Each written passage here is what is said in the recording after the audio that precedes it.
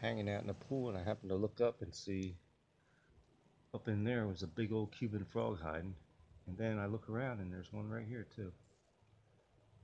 These Cuban tree frogs are invasive and they eat the native species. And They will actually wipe out a native species in the area, so you're supposed to euthanize them.